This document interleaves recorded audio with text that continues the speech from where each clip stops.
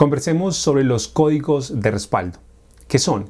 Son esos números que genera Google Authenticator, esos números que llegan a través de mensajes de texto o son otros.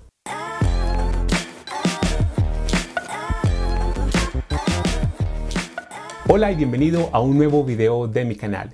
Yo soy Juan y vamos a revisar qué son los códigos de respaldo de Google. Lo primero es indicar que los códigos de respaldo no son los que genera Google Authenticator ni los que nos llegan a través de mensajes de texto. Los códigos de respaldo son efectivamente el respaldo cuando estos mecanismos Authenticator y los mensajes de texto no funcionan. Como lo menciono en la comunidad de ayuda de Google, los códigos de respaldo son esa última línea en el proceso de recuperación de cuentas, de ahí su gran importancia. Pero estos códigos, ¿cómo se obtienen? ¿Cuándo se generan? Básicamente, cuando configuramos la verificación en dos pasos, Google nos permite, casi que nos exige, hacer una copia de estos códigos de respaldo.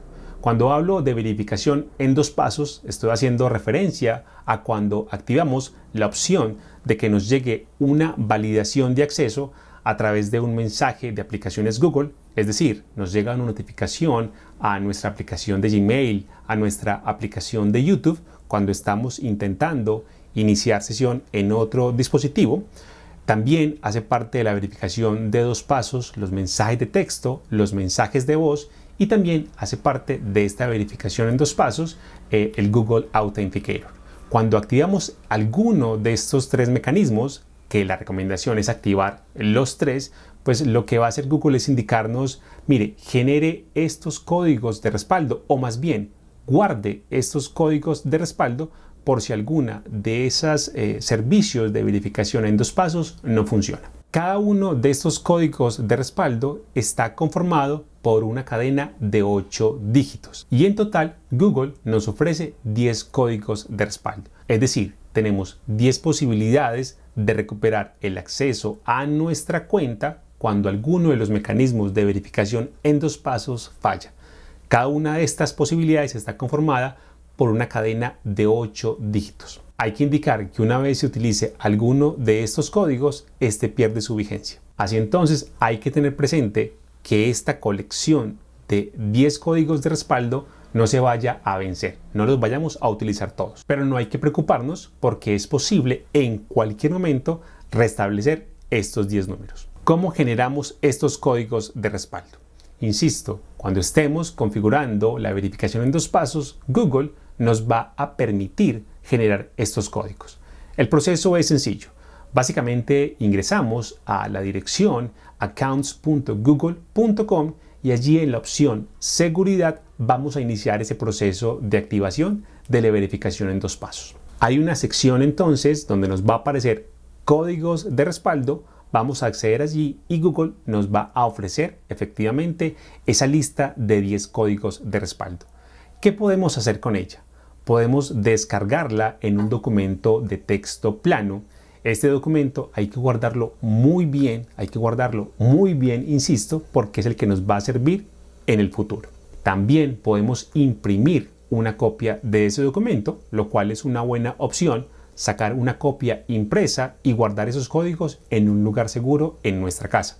Puede ser incluso en una caja fuerte. Desde aquí también podemos generar nuevos códigos, lo que mencionaba hace un momento. Cada vez que utilizamos un código, este pierde su vigencia y hay que estar presente en no, digamos, gastar los 10.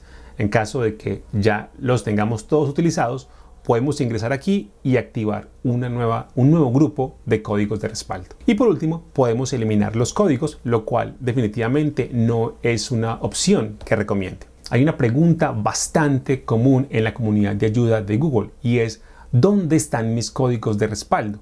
¿Por qué no me llegan mis códigos de respaldo a mi cuenta de recuperación, a mi celular?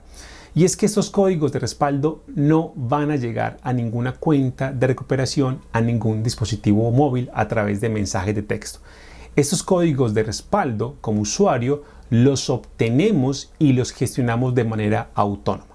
¿sí? Lo que acabo de mencionar desde accounts.google.com en la sección seguridad podemos generar esos códigos podemos guardarlos como un archivo de texto plano, un, eh, documento .txt o podemos imprimirlos. Somos nosotros, los usuarios, los que gestionamos estos códigos de respaldo.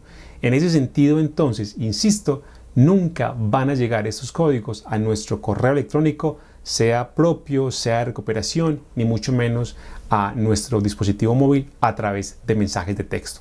Fundamental tener esto presente.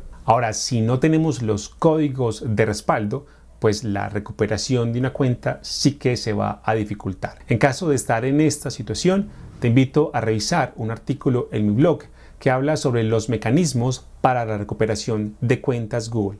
Aquí detallo todos los pasos que a la fecha están disponibles para restablecer el acceso a una cuenta. Pero muy posiblemente, muy posiblemente, sin el acceso a estos códigos de respaldo, el procedimiento, digamos, va a ser un tanto engorroso, un tanto difícil, por no decir que imposible. Así entonces te invito a que revises si efectivamente cuentas con esos códigos de respaldo de tu cuenta. Si no los tienes, ve rápidamente a accounts.google.com y genéralos. Espero entonces que este video haya sido de gran utilidad. Si fue así, te invito a que des clic en me gusta, a que lo compartas y por supuesto a que te suscribas al canal. Cualquier inquietud o comentario que tengas sobre este procedimiento, te invito a que lo dejes aquí en la caja de comentarios. Nos vemos en un próximo video. Chao, chao.